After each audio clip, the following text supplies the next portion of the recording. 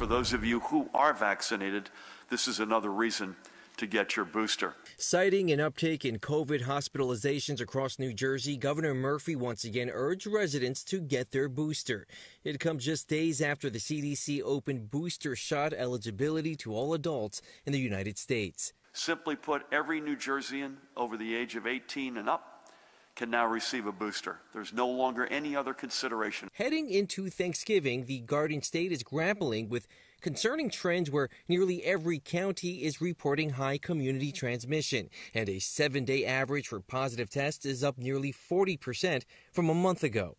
But as officials noted, that uptick is being driven by the unvaccinated. I think that people do have the message.